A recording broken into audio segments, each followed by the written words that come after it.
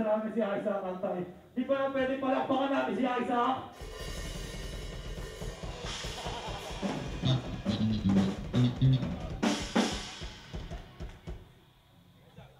Pamagat po na to, red neck, galing sa Manang ng Bongga, sana lumabas ang po ninyo lahat.